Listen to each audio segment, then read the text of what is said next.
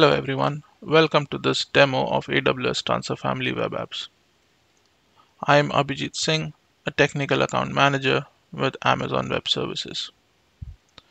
Web apps enable you to extend a simple, secure, and highly available portal for your end users to browse, upload, and download data in S3. Today, I will show you how to set up MFA authentication using an external IDP, in this case Okta, and configure granular user permissions for S3 access. I will also log in as an end user so we can see how granular user permissions translate on the interface and perform common file operations through the UI. So let's get started with the demo. To create a transfer family web app, we will have to head to AWS Transfer Family console and select Web App from the left panel and click on Create Web App.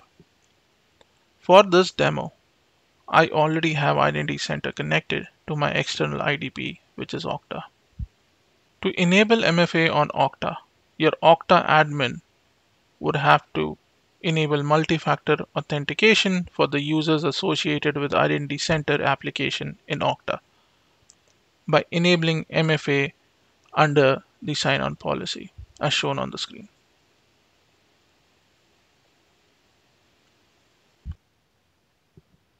Additional parameters required while creating a web app are number one, an identity bearer role.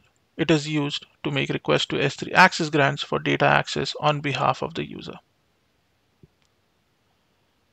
Web app units allow web app activity from up to 250 unique sessions per 5 minute period. When creating a web app, you can provision a number of units you need based on expected peak workload volume. Additionally, AWS Transfer Family supports a limited set of customizations for your web apps so you can incorporate aspects of your company's branding. We will go ahead, validate the details, and click on Create Web App. Now that our web app is created, I will go ahead and assign a user to the web app by clicking on Assign Users and Group. I will search for my Okta user and click on Assign. Now that our user is assigned, our next step will be to configure S3 access grant for our web app user. To create an S3 access grant, we would have to log in to the S3 console and select access grants on the left panel. I have already associated my Identity Center instance with S3 access grants. As an admin, I would like the user to have read access to specific files and folders and have read-write access on the rest. We will be creating S3 access grants to reflect this use case. However, before we create S3 access grants, we will be creating locations. To create locations, you would have to click on the locations tab, click on register location. The first location that we will be creating would be confined to an S3 object.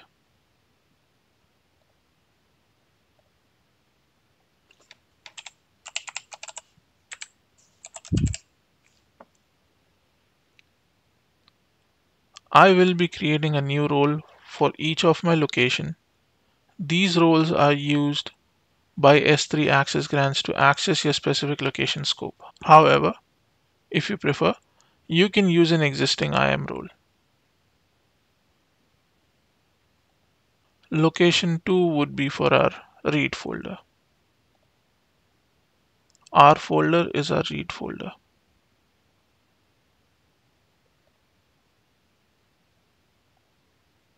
The last location will be a read-write folder. WR folder is a read-write folder. Now that our locations are created, we'll go ahead and create an S3 access grant. The first grant that we'll be creating would restrict the user to a specific object.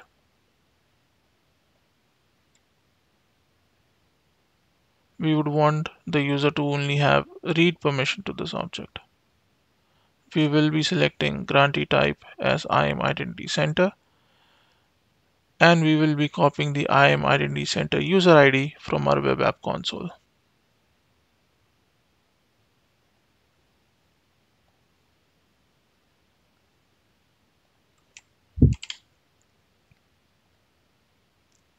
Now we will be creating our access grant for our read folder.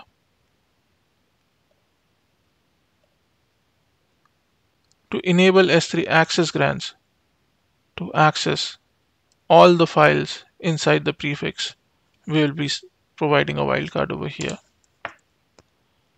We will specify read permissions and again copy the IAM Identity Center user ID for the same user. We will be repeating the same step for our read write folder. However, the difference would be we will be selecting both read and write permissions.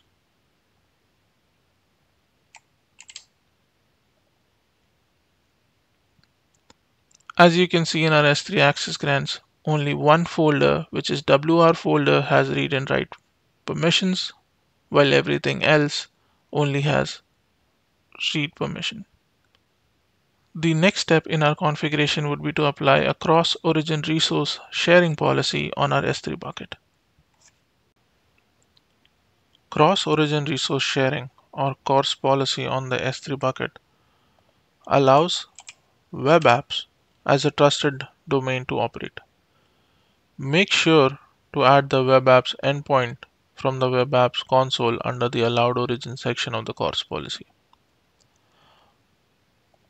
I'm using the service recommended CORS policy in the transfer family documentation.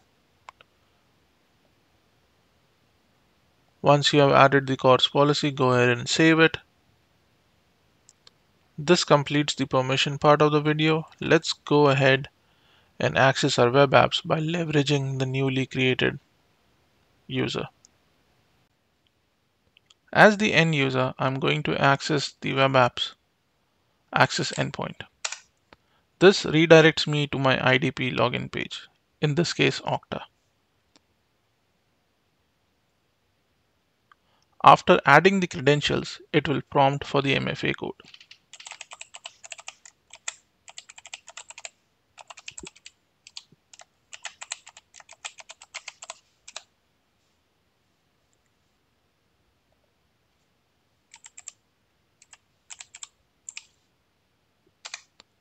As an admin, you can specify any other modes of MFA supported by your identity provider. After login, as you can see, the permissions mirror my configuration under S3 grant. Read folder has read permissions. Read write folder has read write permission. The txt file has read permission. For the txt file, the only supported operation is download or read. Under read folder, however, you are able to perform additional operations such as sorting by name, type, last modified time, and size. You can also search for a file under a nested folder. For example,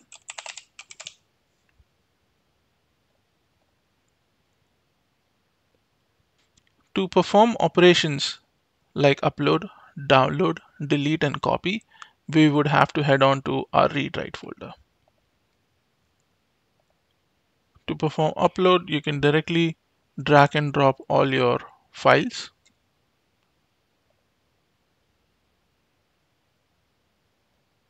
Additionally, you can perform operations like copy. For example, if I would like to copy savingsplan.png into copy folder, I can do it like this.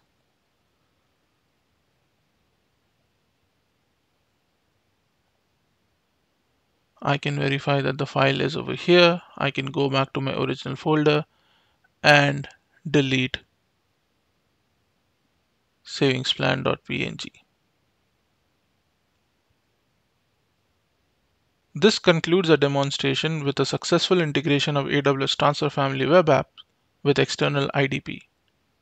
utilizing MFA for enhanced security, and demonstrating fine-grained access control on files and folders, along with support for all the current file operations within the web apps. Thank you.